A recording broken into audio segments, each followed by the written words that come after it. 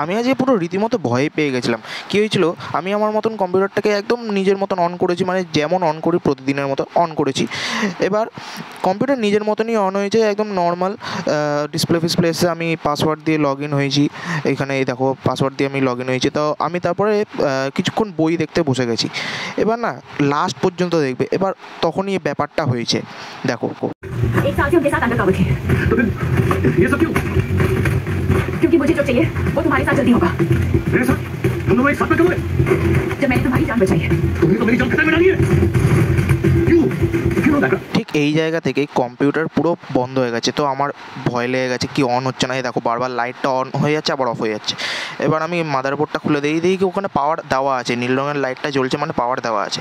এবার আমি পাওয়ার সুইচটা মারছি, ওখানে পিঙ্ক কালারের লাইটটা শো হয়ে আবার বন্ধ হয়ে যাচ্ছে, নিজের মতো। এবার না কিছুক্ষণ পর দেখছি যে ওখানে ফ্যানটা ঘুরছে না। এবার আমি বুঝতে পারলাম মনে ফ্যানে মনে করছি সকেট খোলা আছে হ্যাঁ সকেটটা খোলা আছে ভয়ে পেয়ে গেছিলাম যে প্রসেসার ওরা ফ্ল্যাকচুয়ার্ড হয়নি তো, কারণ প্রসেসর এত তাড়াতাড়ি ফ্ল্যাকচুয়ার্ড হয় না। তো আমি আমার মতন অন করলাম ফ্যানটা ঘুরলো, আবার বন্ধ হয়ে গেলো, আবার অন করলাম, এবার ঠিক মতো প্রপার অন হয়েছে। এবার আমি ডিসপ্লের দিকে তাকিয়েছি হ্যাঁ এবার ডিসপ্লে পুরো প্রপার এসছে, আমার ভয় লেগে গেছিল। মানে আমি ডুয়েল করে ইউজ করি, আমি ডুয়েল করে পাল্টেছিলাম। আবার নিজের মতন পাসওয়ার্ড দিয়ে লগ ইন হলাম। আর যাদের যাদের কম্পিউটার আছে, তারা নিশ্চয়ই জানো যে এরকম হয়ে যাওয়া মানে কত ভয় লাগে। সাবস্ক্রাইব